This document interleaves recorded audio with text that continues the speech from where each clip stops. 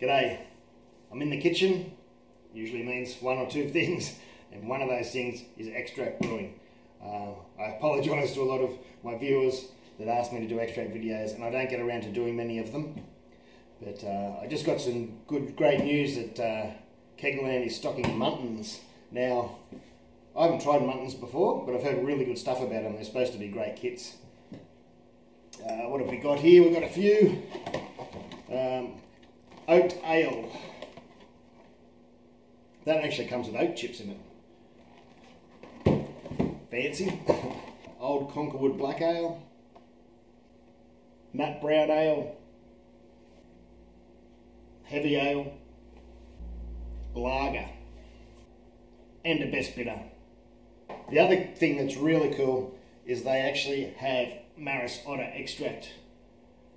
Over the years, a lot of people have asked which extract to use to mimic uh, Maris Otter in their extract beers, and we haven't really had much, you know, just have to say use just a normal white dry malt. We haven't really had much choice unless you really went searching.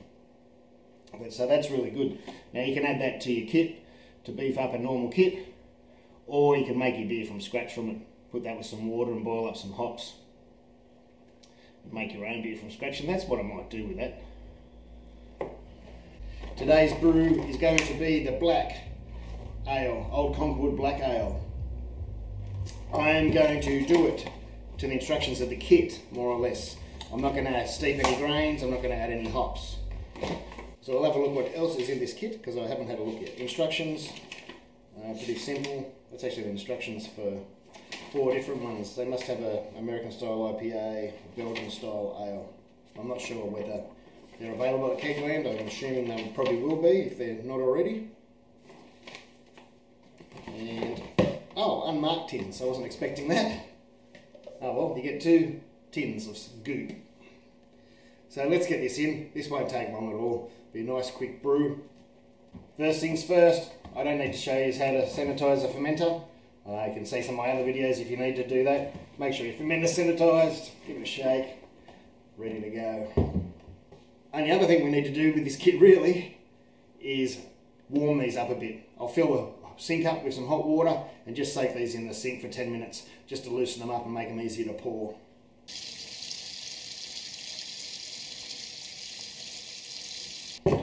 And a mixing spoon, nice and clean, and one you can sanitise and a can opener. Uh, I usually have a dedicated can opener just for brewing that I clean and keep it nice and clean so it doesn't get used for dog food or cat food and things like that. But uh, as long as it's clean and sanitised, you'll be fine.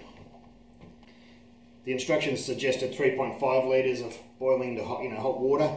I'm just going to use a jug's worth. Um, I think that'll be plenty because I usually overshoot the temps anyway once I start using about 3 litres of hot water. So I'm just going to start with a jug. That's about two litres, just a little bit under, and uh, we should be able to mix everything into that fine. So I'll move the camera over. Let's do it. Just before I pour my hot water into the fermenter, I'm going to grab the tins out of the sink that have been sitting in the hot water, which are just here, and I'm just going to dry them off. Like, you'll probably be fine, but you might not want that water dripping in to your fermenter.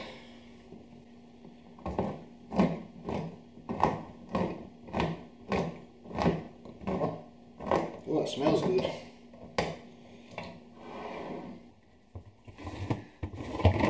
Place this somewhere clean. There goes my new two litres of boiling water.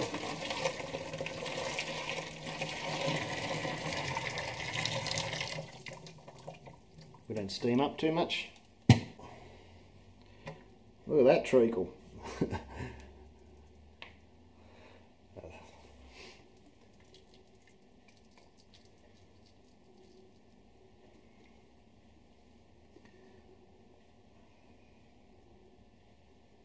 you can get a little bit more boiling water or hot water and put it in the can and rinse these out.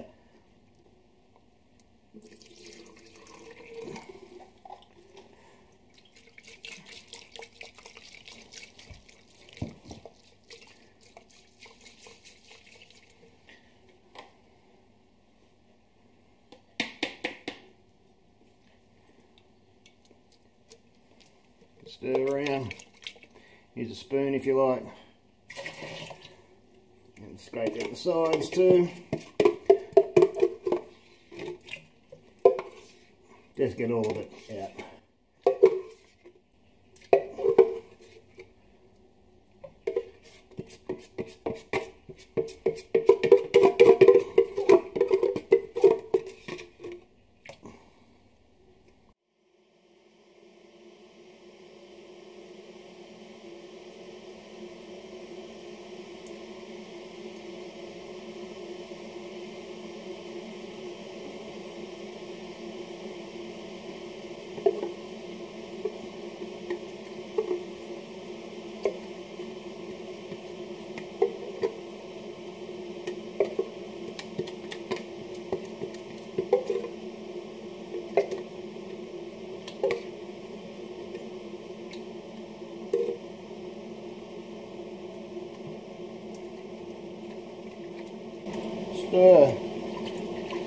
That's the kettle boiling in the background so I can rinse these tins out a bit more, some more hot water.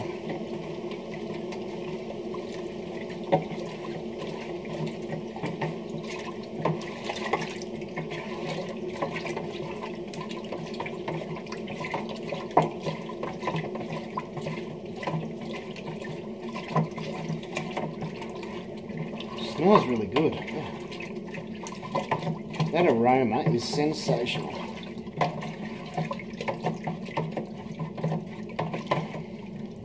that jug's nearly boiled.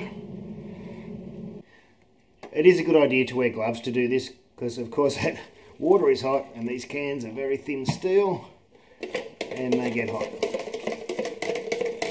It might be stating the obvious but I always forget to grab my gloves.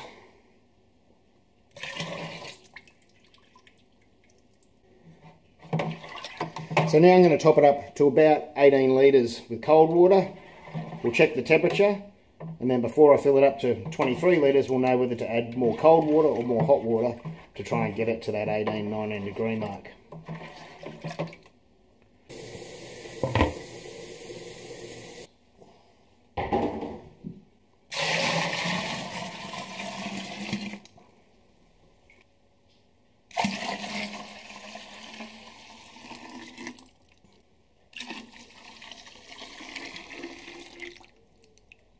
Stir right up. The yeast will still eat it even if you don't.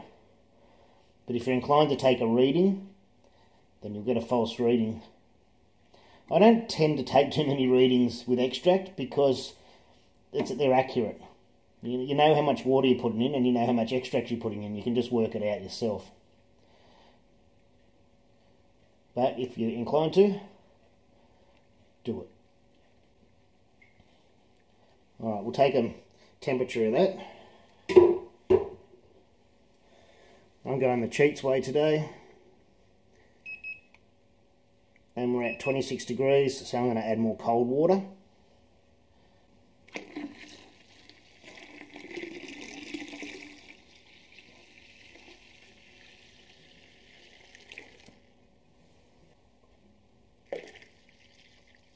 Twenty-three litres.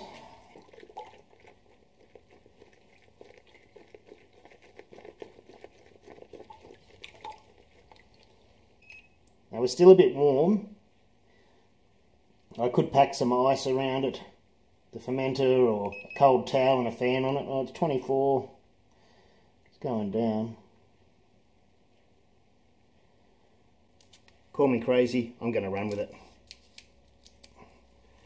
And I've decided since I'm going in warm, I will just use one pack. I don't care if it's a bit slow to take off. This warmth will really help it take off fast. If I double pack this, it's really going to take off. So, And these are very fresh. This has got a best before of uh, 2021.